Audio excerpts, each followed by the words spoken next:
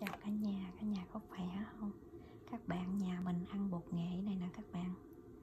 Mình quay cho cả nhà xem nha. Bột nghệ kim tự pháp. Bột nghệ này ăn tốt lắm đó cả nhà.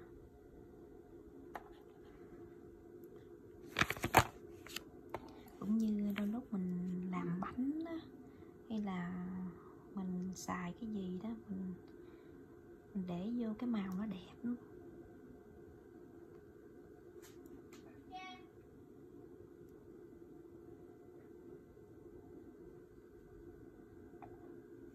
nhiều khi á, các bạn cá chặt á, mình kho nghệ cũng ngon lắm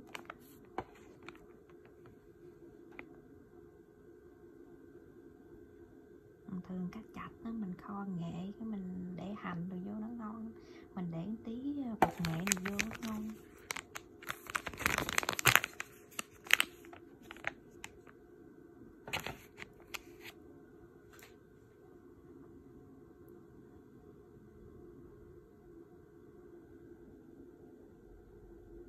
nghệ này là nghệ nguyên chắc đó cả nhà.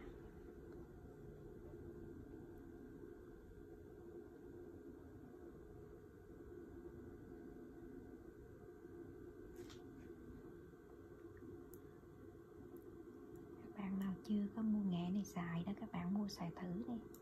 Mình ăn tốt sức khỏe lắm đó các bạn. Mình chúc cả nhà nhiều sức khỏe đình mình có mua cái gì trong nhà ăn đó mình quay cho các bạn xem cho vui. Bye cả nhà.